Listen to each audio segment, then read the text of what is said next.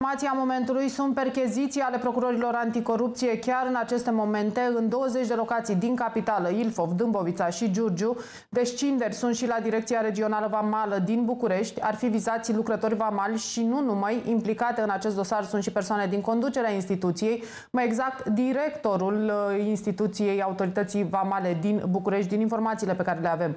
În cadrul dosarului penal se fac cercetări pentru luare de mită în formă continuată. Sumele primite de suspecți, conform anumitor surse, sunt cuprinse între 600 și 12.000 de euro pentru a lăsa să intre în țară bunuri contrafăcute sau fără documente. Mai exact, cei vizații de anchetă ar fi luat bani de la comercianți care își desfășoară activitatea în complexuri comerciale de la marginea capitalei. În schimbul acestor sume, nu ar fi fost sancționate nereguli constatate în urma controalelor. Perchezițiile au loc în mai multe birouri, dar și în mașinile unora dintre suspecți. În urma verificărilor este posibil ca o parte dintre cei vizați să ajungă la audieri în fața procurorilor și nu este exclus ca procurorii să impună inclusiv măsuri preventive în acest dosar. Vă reamintesc amintesc, vorbim despre un dosar cu fapte de corupție, iar mita în acest dosar cu fapte de corupție este uh, cuprinsă uh, între 600 și 12.000 de euro. Mergem mai departe.